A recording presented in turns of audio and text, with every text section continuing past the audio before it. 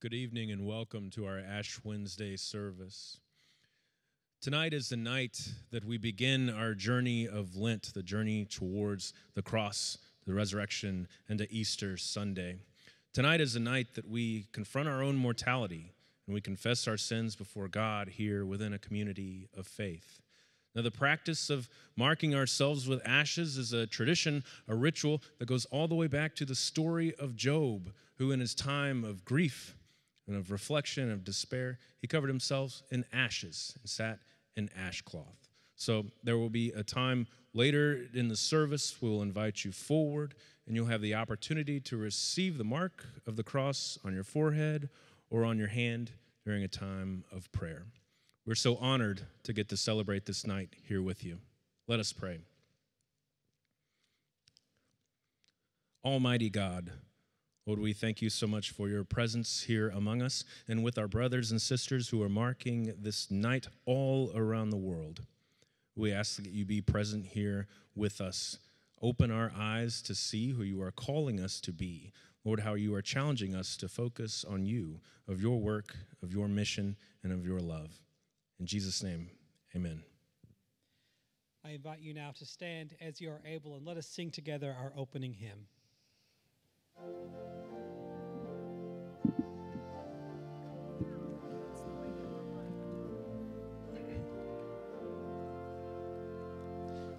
Sunday's palms are Wednesday's ashes as another Lent begins. Thus we kneel before our in contrition for our sins. We have marred baptismal pledges in rebellion gone astray. Now returning, seek forgiveness, grant us pardon, God, this day. We have failed to love our neighbors, their offenses to forgive. Have not listened to their troubles, nor have cared just how they live. We are jealous, proud, impatient, loving much our things. May the yielding of our failings be our Lenten offerings. We are hasty to judge others, blind to proof of human need, and our lack of understanding demonstrates our inner greed. We have wasted earth's resources, want and suffering we've ignored. Come and cleanse us, then restore us, make new hearts within us, Lord.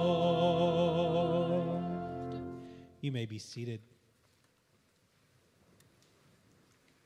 The first scripture for this evening will be from Psalm 22 and will be read throughout the service. My God, my God, why have you forsaken me? Why, why are you so far from saving me, so far from my cries of anguish? My God, I cry out by day, but you do not answer, by night, but I find no rest. Yet you are enthroned as the Holy One. You are the one Israel praises. And you our ancestors put their trust. They trusted and you delivered them.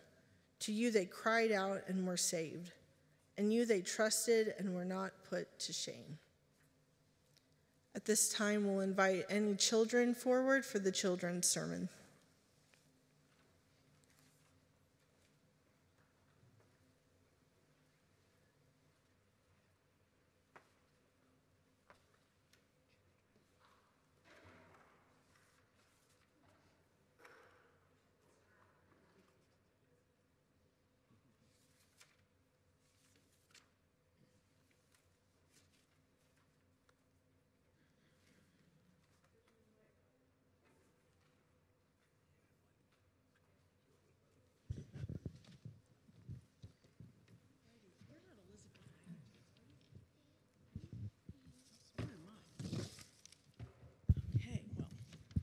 Glad you're here. I have a lot of stuff. You know, that's what we do in children's ministry. We have a lot of stuff. Well, tonight we're going to experience the imposition of ashes, which simply means that you're going to have an opportunity to have ashes put on your forehead or on your hand to remind you that God made us from dust. That's pretty amazing, God, isn't it? Do you have a question, Elizabeth? Um, is it gonna hurt? Absolutely not. Absolutely not. It's gonna. It'll feel just like this. I'll- I'm going to tell you about all that stuff.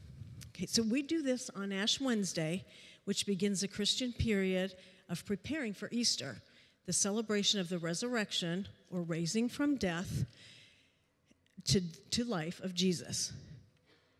During Lent, Christians often try to become closer to God, and they do it in many different ways. I like to think of it as a journey that we are all on together. What we're going to ask you to do, along with Miss Monica and me, is to focus on God's gigantic love for us. We put together some tools for you for our journey to Easter. We know that you can lead your family because we've seen you do it before.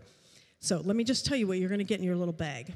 And for those people that are at home uh, viewing online, if you want a, a children's packet, a children's Lenten um, packet, you just let us know. You can email Monica or me, and we will make sure that you get one. So, in your little packet, what you're going to get is you're going to get a calendar for all 46 days of Lent. There's, and it's kind of confusing. There's really 40 days of Lent. The Sundays don't count, but we gave you every single day because we like everything. Okay, and so it gives you suggestions on things you can do to get closer to God. Now, you may not be able to get to do all 46 of these, and that's okay, okay? But um, an example would be today, which is Ash Wednesday, this calendar tells us, well, let's talk about the meaning of ashes on this day. So, what you're going to do is, you're to, this is a placemat, and you're going to have this on your table, okay? And every day there's a suggestion of something to do, and you're going to lead your family. Okay, so you have your little candle, because what does the candle remind us of? Yes, it reminds us that God is with us, whether we see Him or not. Okay, so what you're going to get in your bag is you got your candle. You're going to have a glue stick because there's four, also 46 words. So every day you'll have a word. Like let's say you're sitting at breakfast and you go, "Oh, today's word is dust." You can talk about that word. What does that mean? Like to your mom or dad, it might mean, You can sweep. "Can you come to my house?" Yeah, I like that. That's I was I was actually going to talk about that. So you might talk about dust and how dusty or undusty your house is. Um, the next day is grow. The other thing you could do is you could draw a picture, or you could do like you could do the the word. Like for instance, grow. You could show you know I, I'm growing. This is how tall I got. So basically, it's a time to just be together and talk and draw yourself closer to God, kind of to be quiet. Okay, so you got these little strips here, and I'll show you what they look like. Well, oh, so every day you you have all this these little strips in your bag, and you'll put together one day as friend, okay, and then you'll you'll glue it together with your glue stick, and by the end of Lent, you'll have a 46 piece. Um, what do you call these garland that you could put on your um, mantle or you could just you could hang it in your room. But um, it's just to cause us to think more about god and how much god loves us. You think you can do that at your house? Yeah? Okay and so also in your bag is the blessing balm and i don't know if you've seen this or not um, elizabeth because i think you're fairly new to sunday school and church right? Or this one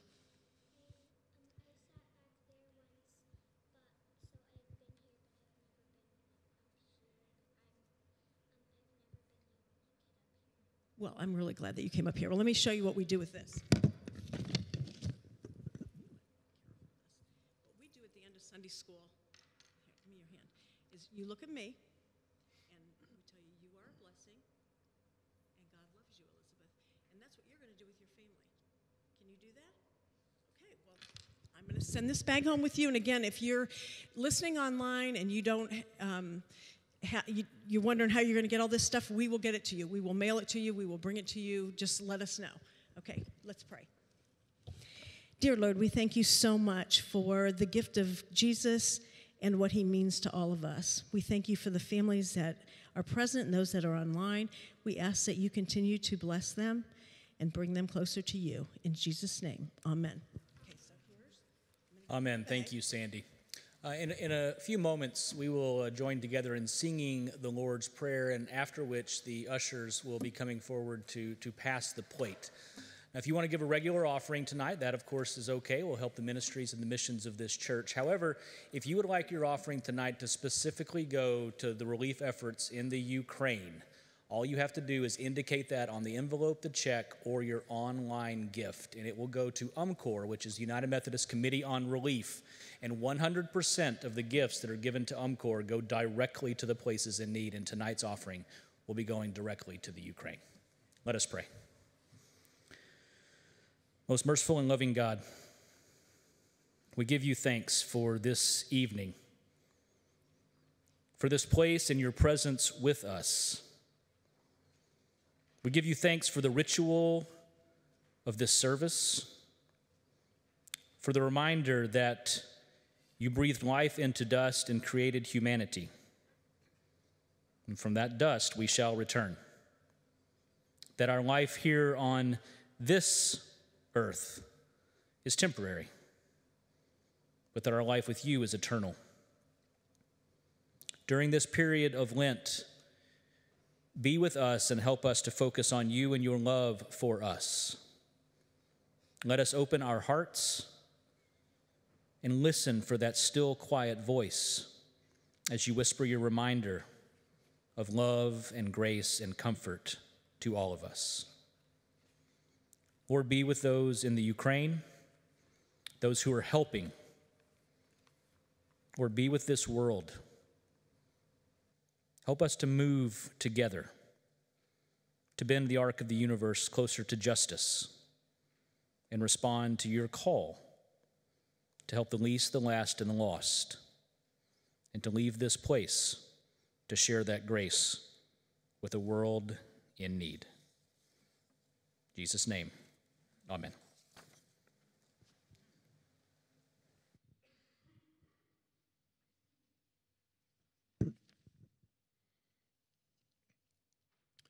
But I am a worm and not a man, scorned by everyone, despised by the people.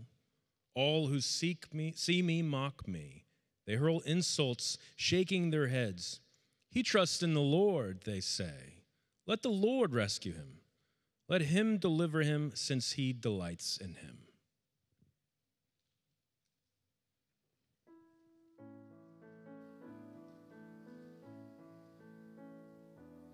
Our Father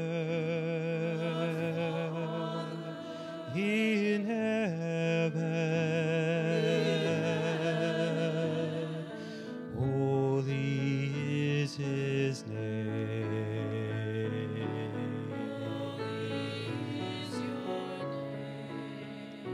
Your kingdom come,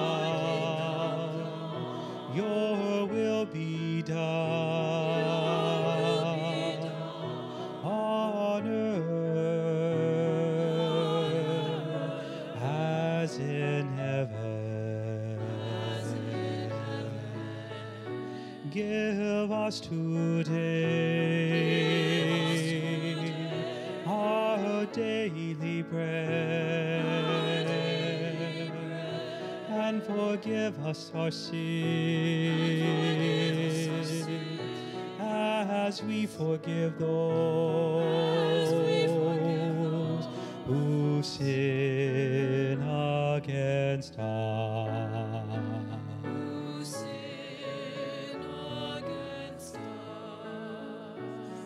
Save us from the time of trial and deliver us from evil. For the kingdom and the power and the glory are yours forever.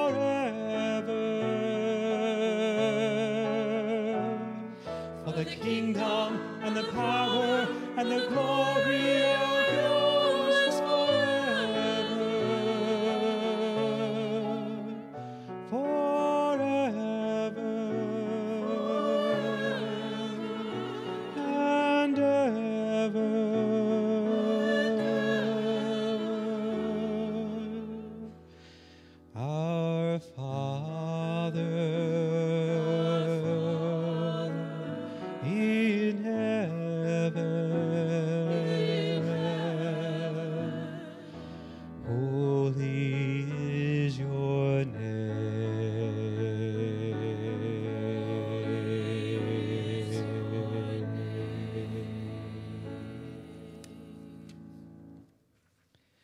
Ushers may now please come forward.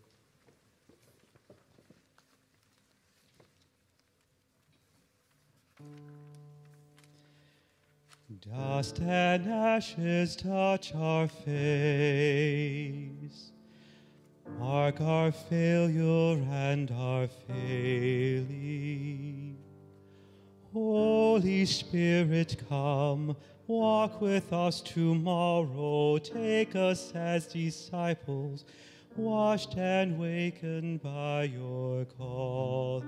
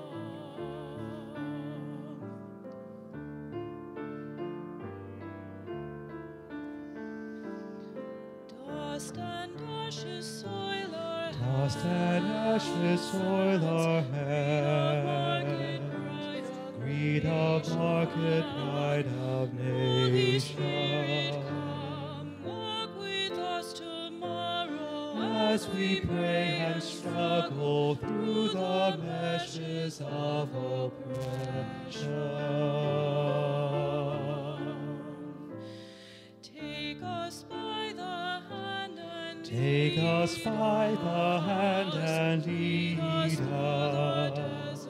Lead us through the desert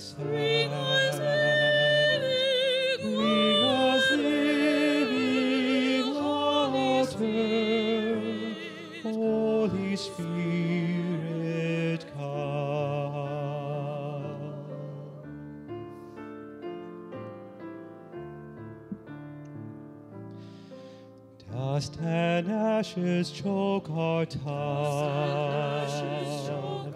in the wasteland of depression. Holy Spirit, come, walk with us tomorrow through all gloom and grieving to the path of resurrection.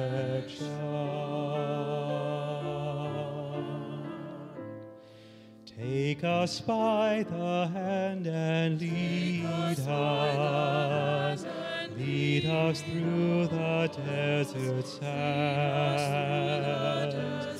Bring us living water.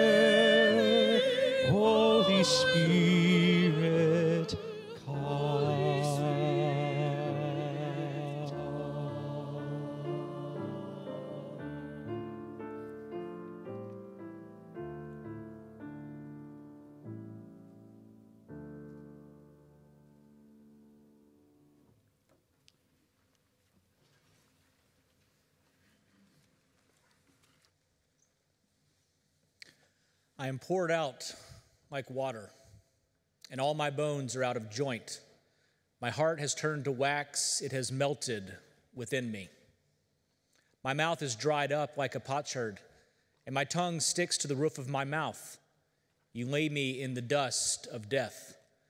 Dogs surround me, a pack of villains encircles me. They pierce my hands and my feet. All my bones are on display. People stare and gloat over me. They divide my clothes among them and cast lots for my garment. But you, Lord, do not be far from me. You are my strength. Come quickly to help me.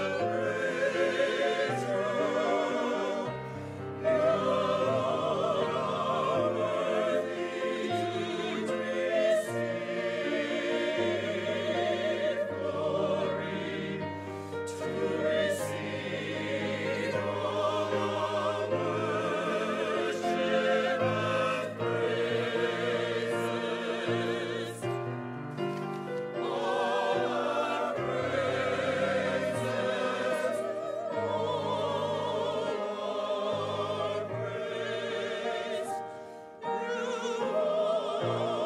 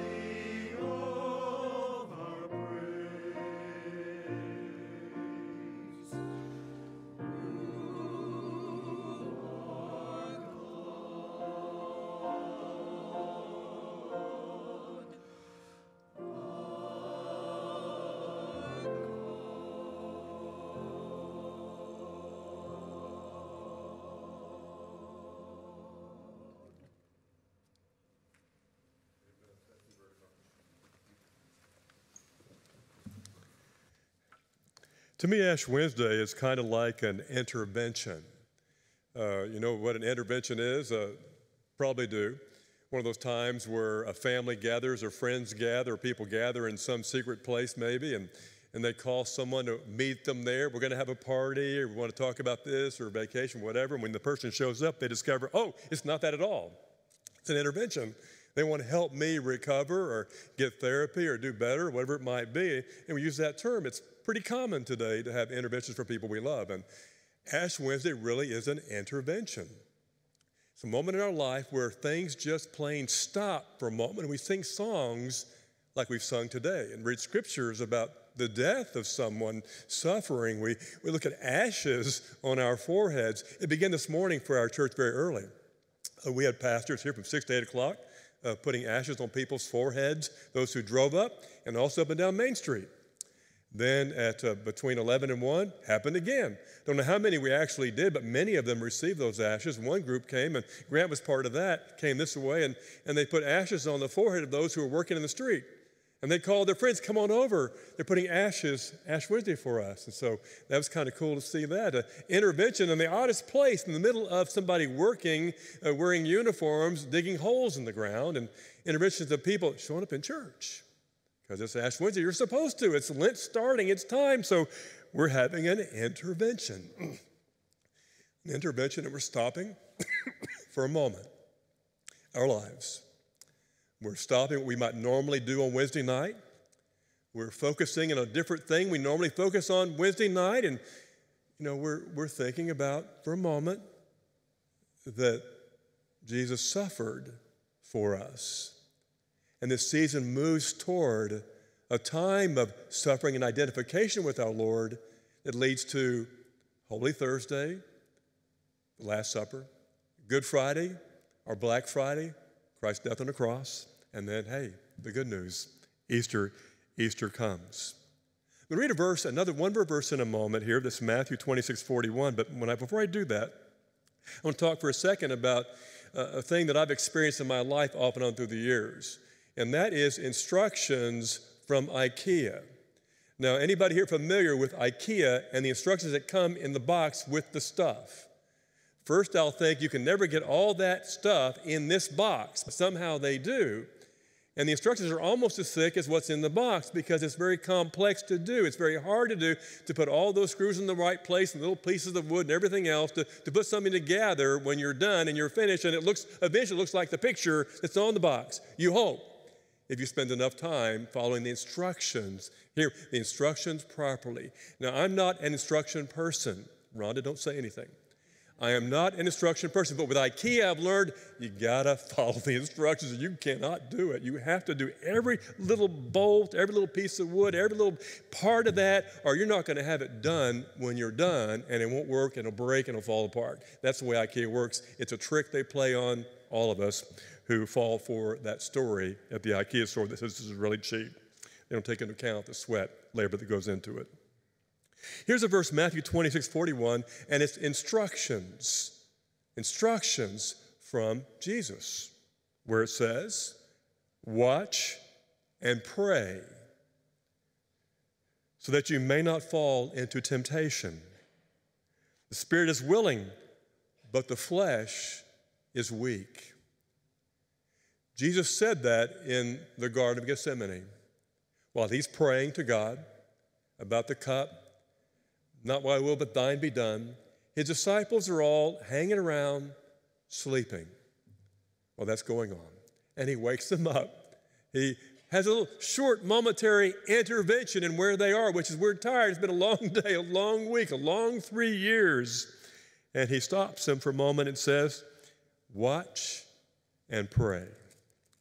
The instructions are simple and they are clear. We just often don't do it. But the warning is if you don't, IKEA, if you don't do it right, you're not going to have the instrument like you want it. The bed's not going to, it's going to fall apart. It's not going to hang on the wall. And we really can't experience the Christian life like we probably want to experience it. Watch and pray so you may not fall into temptation. If you don't, if you don't, it will destroy you. You won't be what you want to be or what God wants you to be. And so we offer once a year intervention, please come. We're going to watch and pray. Ashes, repentance, God forgive us, direct our lives in a new way. We want to follow you. We want to be Christians. Watch and pray, lest temptation destroy you. Ash Wednesday is the first day of Lent. Uh, just before Ash Wednesday, for some reason, we have a big party, or some do, called Mardi Gras. Uh, traditional guidelines uh, allow that, I guess, somehow, because after that we're supposed to be good. And so that's kind of how the rules go. And historically, that we can be really bad just before we're really good. Get ready, because you can't be good after or before Lenten season. It's kind of funny, the, the world can be like that, but it is. Uh, often there's an event called Shrove Tuesday, which we don't do here necessarily. We can. Pancakes are often served. The idea there is that we're going to have pancakes on Tuesday because we've got to suffer the rest of this time. Let's have a good time before we suffer. That's kind of the idea of the pancakes. We've got to use all that stuff up because we can't eat it next week. No syrup for you, or whatever it might be that we're sacrificing. So we have that kind of thing as well. As we try to understand what this event is in our lives, this understanding of salvation founded in the cross and suffering of Christ. The verses you heard read already in the service are from Psalm 22. They're called messianic prophecy, meaning this is what Jesus went through on the cross, prophesied long before it ever happened. And those words are very graphic and descriptive of what it is to be on a cross. I'm going to show you a picture, a very simple one. It's called a crucifix. You know that. Some may have one in their home, maybe jewelry for you, but I think sometime we might miss this part of what it is to be and experience Christ fully. Uh, many times in Protestants, our crosses are empty. Uh, they're often beautiful, maybe decorative, and I have decorative crosses in my home on a wall. Uh, I can wear one on occasion. We have there, and that's good. But they're not always in Protestant churches. There's usually nobody on them, uh, and the Catholic Church often has what you see in front of you there uh, uh, if you're online, you're watching that online, was called a crucifix. This idea that there was someone who was the only perfect man who ever lived who was crucified for our lives. There's no full, complete intervention in your life and mine without somehow contemplating the death of Jesus Christ, what that means for us. Max Lucado talks about the cross like this. He says, The cross. It rests on the timeline of history like a compelling diamond. Its tragedy summons sufferers. Its absurdity attracts all cynics. Its hope lures the searchers. History has idolized it, despised it, gold plated it, and burned it, worn it, and trashed it. History has done everything but ignore it. How could you ignore such a piece of lumber? Spend it on the beams, on its beams is the greatest claim in history. A crucified carpenter claiming to be God on earth. Think about the uniqueness of what it is to be a Christian, that centered in this idea of someone crucified for you and me. And it puts a light on what Lent really is. Where we might give up something, or begin doing something or change something or repent or confess or change our lives or allow God to change our lives or come to an altar and say, It's Wednesday night, I'm going to come and I'm going to kneel. And so he put ashes on my head and tell me, Repent for the gospel. Repent, the gospel is here with us and what that means for you and me. We can neglect this. There's a man hanging on a cross and he suffered. The Bible says, Scarcely would someone die for a righteous person, but God proves his love toward us that we were yet sinners, he died for the ungodly. There we see in that picture. So that's what love, at least how God explains, how God wants us to under, how God reveals it to us. That's what God, that's what love looks like. That is how God expresses his love. We see in that a rich, deep overwhelming, overcoming, saving love for you and me. And that we can kneel before. So, God, I want you to put some ashes on my head. I want to repent. Watch and pray lest temptation destroy you. And so here is again the intervention that interrupts your life and mine in the middle of whatever's happening in our world whatever's taking place around us, whatever we're experiencing, whatever we are have gone through ourselves, whatever we might go through next. We have that promise. Psalm 22, a few verses again. My God, my God, why have you forsaken me? Why are you so far from saying, saving me, so far from my cries of anguish? The words that Jesus said on the cross are said here hundreds of years before he actually said them in that place. I'm a worm and not a man, scorned by everyone, despised by the people. All who see me mock me. They hurl insults, shaking their heads. He trusts in the Lord, they say. Let the Lord rescue him. Let him deliver him. In that place, we open our hearts. So, so that's this story that we grapple with. Either we're searching for it, or we're living it, or we found it, or we need to renew it, or we need to simply refocus on it which is the story of the Lenten season, to be able to do that and make that decision. I am poured out like water, and all my bones are out of joint. My heart has turned to wax, it has melted within me. My mouth is dried up like a potsherd, and my tongue sticks to the roof of my mouth. You lay me in the dust of death. Somewhere in this ironic connection between uh, the cross, uh, Ash Wednesday, God's love for us. Some in that connection, we discover what it is for God to love us. And here we find the place to say, I want to turn toward the God who gives me this promise in me. There's a song called In the Cross. It's a very simple one. It says, Jesus, keep me near the cross. There a precious fountain, free to all a healing stream, flows from Calvary's mountain. In the cross, in the cross, be my glory ever, till my raptured soul shall find rest beyond the river. Talked earlier about the simple instructions that God gives us. We can't miss what it means for a crucified God to come to us in that unique way. We can't miss what it is to watch and pray in times like we are experiencing tonight.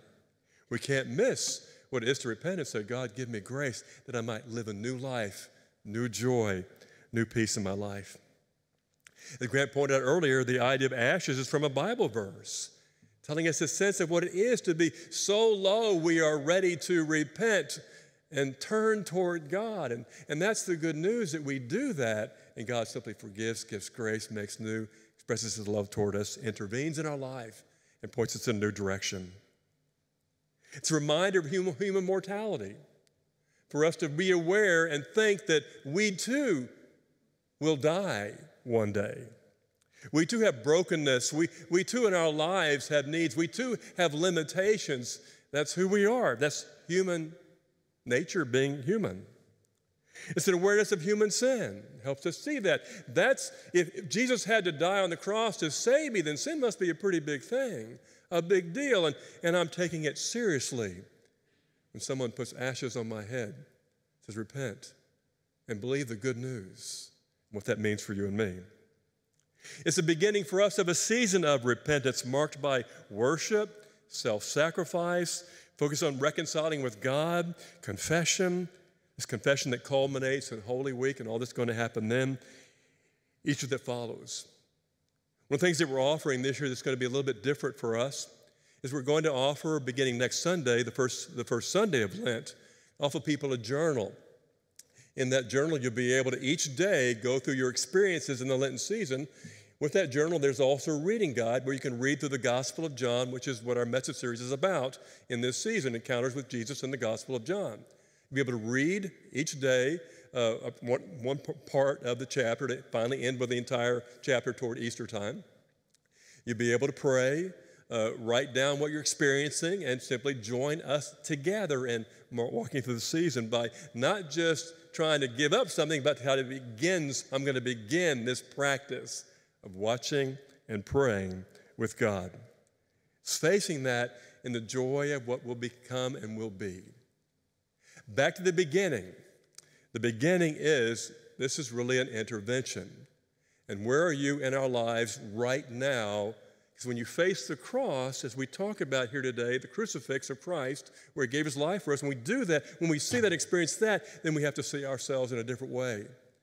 And there we turn toward God, the uniqueness of what Ash Wednesday is for you and me. Would you pray with me, please? Heavenly Father, we have to admit that we don't always watch and pray as we should. We're distracted by the world we live in. We turn to other places. We miss God, what you might do in our lives. But today, God, for a moment, we, we think we have it right. On this Sunday, Ash, this Wednesday, Ash Wednesday, we turn toward you, Lord, and we invite you to enter our hearts and our lives. Prepare us to receive this, this, this special moment of ashes on our forehead. And just lead us through the season and beyond. In Jesus' name we pray. Amen. Someone once said that if our lives are a strip of cloth with baptism, our baptism on one side and death on the other, then Ash Wednesday is a day where we pinch those two ends together. In a moment, the ushers are going to guide you so you can stand or kneel at the altar rails and receive the imposition of ashes. But first, let us pray. God, you created us from dust, and for that we are grateful. We pray that these ashes will be a sign of repentance for us, a call to live differently, and a reminder of our mortality, a reminder that only you can make life from death. As we journey towards Easter, help us to remember that. In Christ's name we pray. Amen.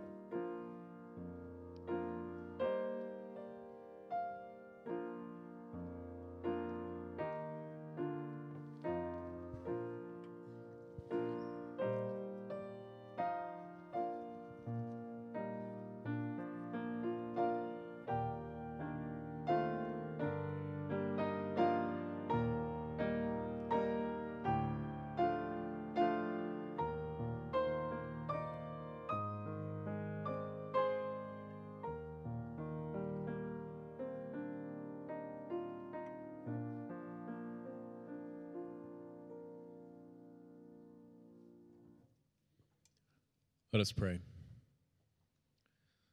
God of grace and of peace, Lord, we thank you for your presence here with us this night. And we thank you for the call that you place on all of our lives to turn to your voice and to follow you. And we thank you for your love and your mercy and your forgiveness that always meets us where we are. Lord, guide us this night to show we so that we can tell more people about you and your grace.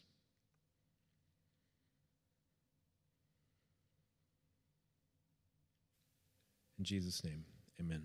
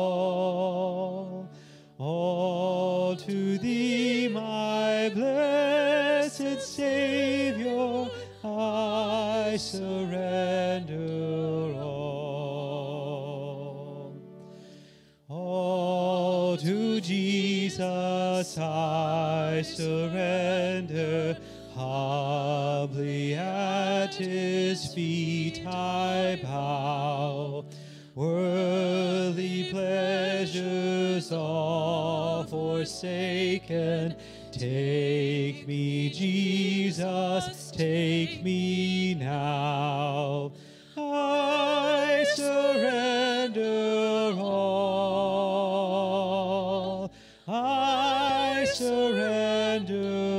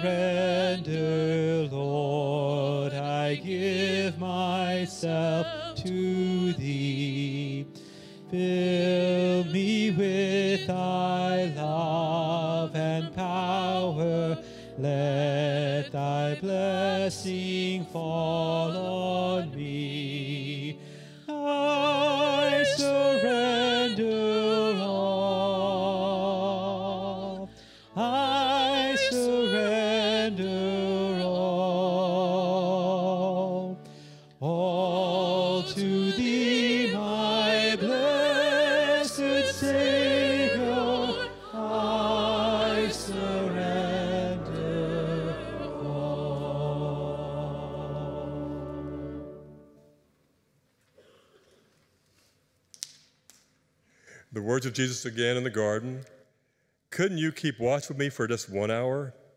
Watch and pray that you may, will not fall into temptation. Spirit is willing, but the flesh is weak. Lent has begun.